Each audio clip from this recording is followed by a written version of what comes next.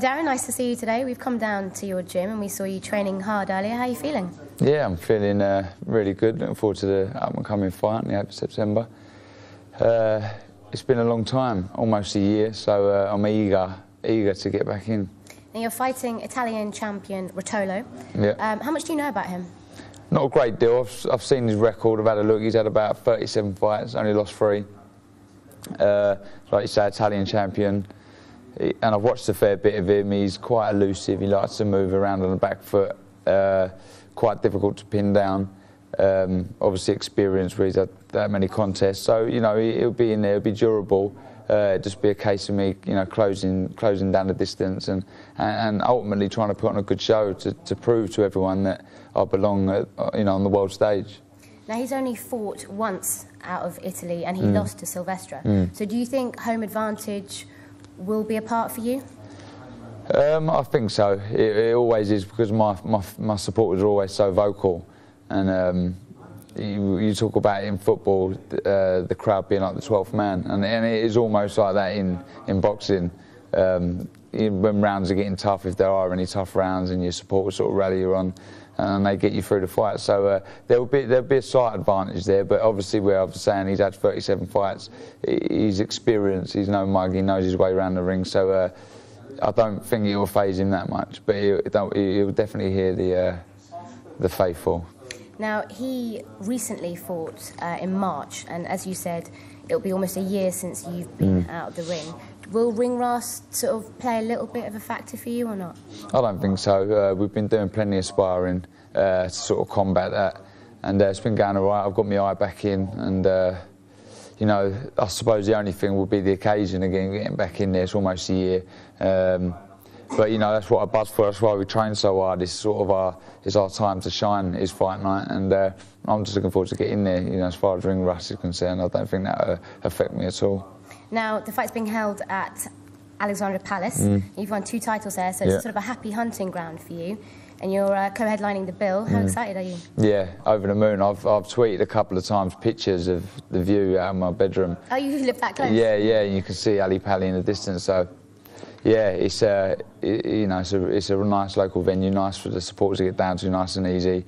Um, and like you say, yeah, I've won two titles there. Won my first one there, Southern area, and won the European there. So we've got some fond memories. And uh, it, you know, if I could have cho chosen any venue, I suppose, other than Caesar's Palace in Las Vegas, it would have been Ali Pali. So. Now the other big fight on the bill is Tony Bellew versus mm. Miranda.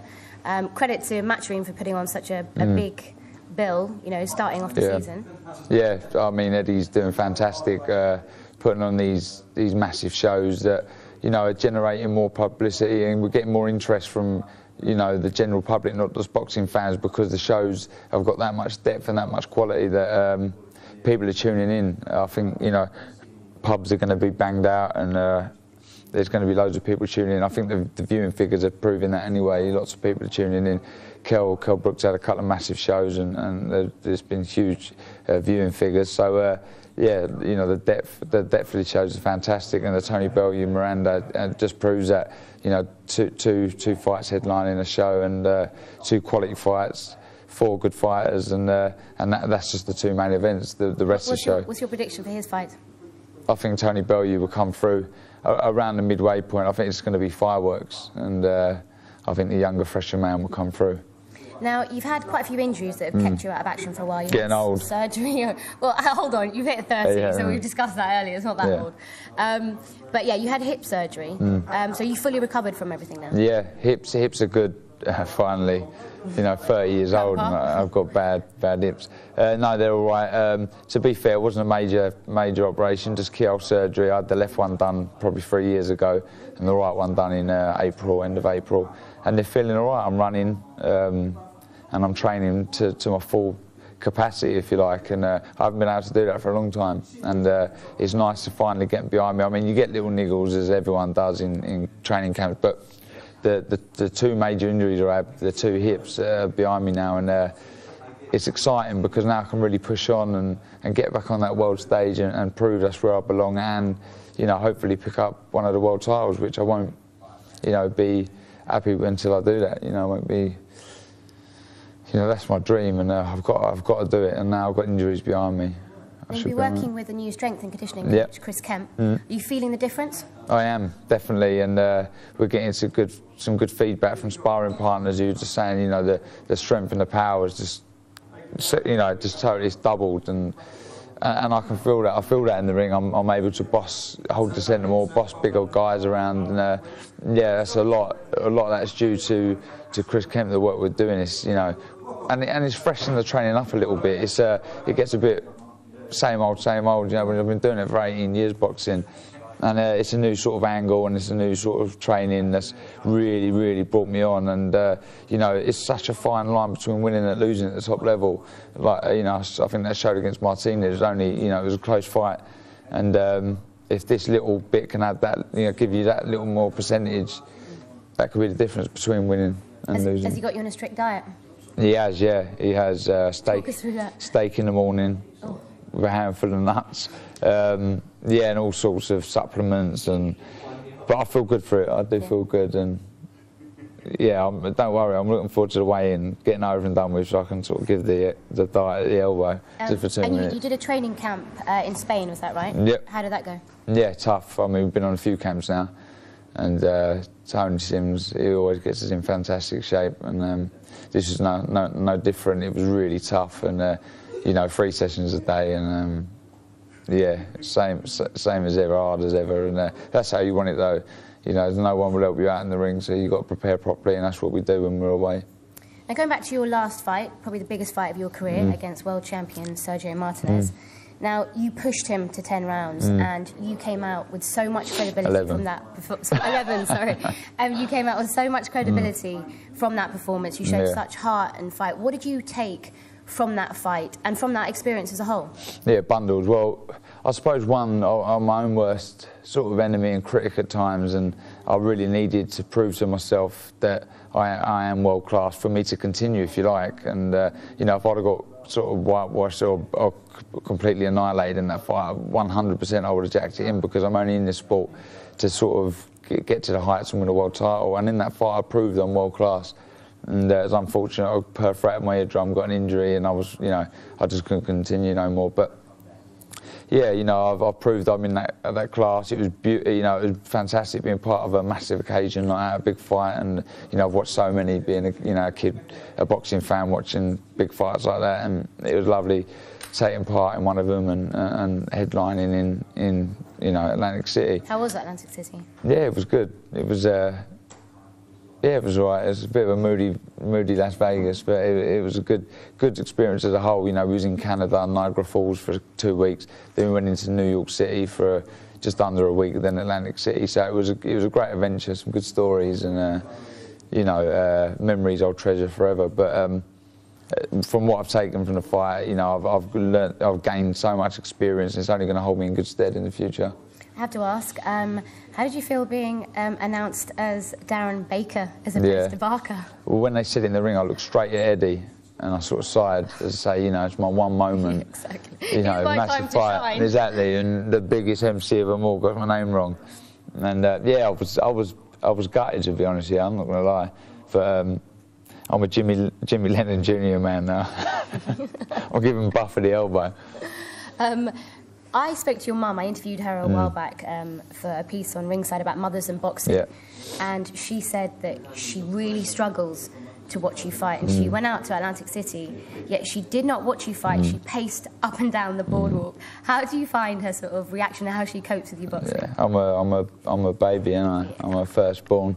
Um, no, it was an excuse for a holiday for her, I think. but uh, what she usually does, she, uh, I suppose everyone's different. Some mums, you know, we see the, the piece on what Sky done uh, about the mums, and some have different approaches to, to, to watching their sons fight, and some are really hands-on and want to get in there, and some take a step back, and you know. Even though my mum takes a step back, she's always there to support me. And she's what, a huge influence. oh, she has. She's really helped me on. And you know, if I need anything, whether it be food or anything picked up, she's always there for me. Or even just, you know, it's a tough sport, even a shoulder to cry on, if you like. And uh, she, she's always been there for me. And uh, what usually happens, I'll fight. She'll we'll ring her up to the result, then she'll watch it back. She can't even watch so, TV either. No, she won't even watch it live on telly. She'll uh, she, yeah, she'll find a result first, and then she'll have all the, all the girls round, like my nan and, and whoever else, and they'll all come round and watch it. Um, now, you're a parent yourself. Mm. Um, so, if your child wanted to go into boxing, Yeah. knowing the sport as well as you do, Mm. how would you feel about it? I'll probably try and put them off it, to be honest. I mean, I started boxing because of my dad was a boxer, but he never pushed me into it. It was something I suppose, being a boy, being the eldest, I wanted to make my dad proud, and it was just something I I had done to, to try and do that. And he never once pushed me into the gym or even showed any interest to start off with at first. And um, it wasn't until I said I had my first amateur fight that he's become my number one fan. But to be honest, you know, is, there's easier ways to earn your money out there, and uh, I'll probably, if I do have a son one day, be giving him a football, as I wish my dad gave me one instead of a pair of boxing gloves. Um, talking about family, um, your family have obviously experienced Hmm. unbelievable personal tragedy when you lost your younger brother Gary Yeah. in a car accident, and you thought about quitting the sport Hmm. altogether. Who or what sort of pushed you back into it? A combination of things, really. Tony was a massive factor. I, you know, I couldn't, I couldn't have done it without Tony. I couldn't do it now without Tony. That was huge. Um, uh, I had so much support from family, friends. Um, He was a boxer himself, wasn't he? Gary was, yeah. He was a real naturally talented one, and uh, there's no doubt he'd be in this position where I am, if not now, but uh, eventually.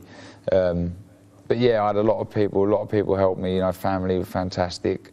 Um, you know, I, and I really needed the support to get me back in the gym, and I did. And I did attempt to get back in the gym once, and I just couldn't do it, and uh, I had to take some more time out, and it was just a void, and I wasn't content with what I'd achieved yet in boxing, whether that be my own achievements or my brothers, uh, and for that reason, I got back in the gym and, and I've been doing it ever since for, for the both of us, if you like. You know, I put in so much hard work and time and effort into boxing that I feel it owes me something now. I, you know, I deserve some success and. Uh, and like I say, Gary would have no doubt would have been been in my position. So it, it, it's a proud, it's, it is proud for me to get in the ring and, and achieve and win some of these titles. I never dreamt I would have for the both of us. And when you go in and you do a little prayer, is that sort of for him? Yeah, always just you know, just um, sort of ask for health and strength off of God and sort of say you know. Get, get my back, Gary, if you like, and then it does. That's another thing you know, I say about the supporters, sort of pushing me along when things get hard. I always sort of feel as if my brother's there with me at times when things get hard. I don't know if that's me bringing it up uh, subconsciously and it sort of gives me a drive, but there's always something there when it gets tough, you know, it drags me through it. Now, moving on to another passion you have besides boxing, Yeah. it's a passion we both share. Yeah, we share, And yeah. that's uh, Chelsea Football Club. Yeah. Um, now, I know you went to Munich for your 30th birthday Yeah. to watch us um, get to Champions League. Mm-hmm. Now, besides barring possibly the birth of your daughter, was that the best night of your life? hundred life? percent, one hundred percent. I would have said that, that if you didn't bring it up. It was, yeah, definitely. Um, yeah, you, how can you beat that? It was, it was just, it was unbelievable. Actually, on my birthday, um, we went. There was five of us went, and I was the only one. Uh, just friends, Yeah. and uh, we drove there, twelve hour. Oh, really? Yeah, twelve hours, and uh, I was the only one who got a ticket, and um, it was just, it was fantastic. You know, when we, you know, Drogba scored that penalty, there was grown men, you know, crying, tears in their eyes, and uh, I haven't stopped smiling or watching it since. say, how many times have you watched it Oh, Do you know what? I go. I've got them both recorded, the ITV and the Sky Sports one, and I just go back and forth watching them constantly. Con- I, I couldn't tell you how many times I've watched it. Not just saying it. I, when they're on board at home or I just need a bit of cheering up, bang it straight on. Do you actually, did you believe we could do it? Because we had such a journey there with the Napoli game and the Barcelona down to 10 men. Yeah. Mm. Even, you know, getting there and them scoring the 86th minute. Yeah. Did you really believe we could do it? Because in a sense, we almost, it, for me, it felt like we'd almost lost three times. Mm. Yeah. With then Drogba coming back, then the Robben penalty, then Mata missing on Yeah. first penalty shootout. I was just, the range of emotions. You know, for me, you hear people saying, saying it's got to be your turn. It's got to be all the like. Yeah, they, you've, but I suppose me being a fan, I can be quite negative sometimes. I think, well, you know, our luck's going to run out. We can't do it again. And uh, I was a bit sceptical. I wasn't sure if we could do it. And uh, yeah, everyone's saying, oh yeah, it's your turn, it's your turn. And when they scored, I thought, oh, that's it. There's no chance now. And then the main man, the governor, stepped up and. Uh, What and way to end his career. Oh, it was unreal. I mean, that header, that's what I was behind the goals where the Chelsea fans were, and we were just going absolutely mental, mental. And it, what, what a fitting way. I mean, I was sort of urging Drogba to leave, if you like, because you have to go out like that. You cannot carry on, and it was unreal. Now it's there. It's How's, up. how's it compared to uh, winning titles? Well, was- I'm telling you, it was up there. It was, it was just the best feeling ever. It was unreal. It was fantastic, and uh, it's, it's a 30th I'll never ever forget. Now, we've obviously signed uh, very good players Hazard, uh, Oscar, Man. Yeah. What are your predictions for us this season? It's going to be tough to compete with the, the Manchesters again, especially City with the depth they've got. And, Man United with Van Persie Van well. Persie, yeah. Um, I was going back to Oscar. I was a little bit gutted about him getting the 11 shirt. Mm. I don't know why. I know we couldn't retire it, but I was a little bit gutted. But It's I hope quite a feat to follow, isn't it? yeah, it is, and like, well, I hope he does anyway. But uh, it's going to be tough for us, but we're in with a shot anyway. And do you go to a lot of the games? Yeah, all the home games were the majority. Uh, Matthew Harding lower. Okay, proper diehard fan. Yeah, yeah. Now, I know you watched, um, you met a lot of the Chelsea boys in Munich. Yeah. Um, and your fight is on uh, an international weekend, so you're not missing a Chelsea game. Mm. Um, and there's an England game the night before. So do you know if a lot of the boys are going to come and support you? Uh, hopefully, fingers crossed. You know, you get a lot of people saying, yeah, they're going to come, but then I think they're a bit worried about security and whatnot, some of the the top players. But I know Jody Morris is coming. Um, he, he'll more, if Lampard does come, he'll come with Jody. So there'll be a few. I think Joe Joe Cole might come down from Liverpool. He said he's he's up for it. Ryan Bertrand. So a few of the boys uh, hopefully will turn up. Now, going back to boxing, obviously you said, you know, your goal and you don't want to hang up your, those gloves until you've Mm. got that world title. What sort of opponents do you see coming up and, and, and what route do you think will take that? Well, I think you know I've got the, the ability to beat any of the other world champions out there, and I've proved it against the sort of standout in the division. You know, if you like, it's Martinez and the rest. Uh, so, so any any other world champion they put in front of me, I'm sure I've got the beating of. I mean, we've got Daniel Geale, Felix Sturm coming up soon in a unification fight. So it'd be the interest. It'd be interesting to see if I could, you know, perhaps get the, the winner out of that. Obviously, my next fight being for the IBF Intercontinental, that puts me right in line for the IBF. So Do you have a time frame? as, as soon as possible. Really, I'm getting old, but um, I think I, I feel I'm in my prime. You know, with we said the likes of Chris Kemp on board. I feel I'm, you know, getting fitter and stronger. The work I'm doing with Tony Sims, uh, I'm feeling better than ever. And uh, yeah, you know, within the next two, three years, I'd like to have won it and defended it a few times and have my feet up, sipping a pina colada somewhere in Spain. Well, listen, thank you so much for talking to me. Good luck for September the 8th, and you'll have all the Chelsea fans behind you. Lovely. Thanks very much.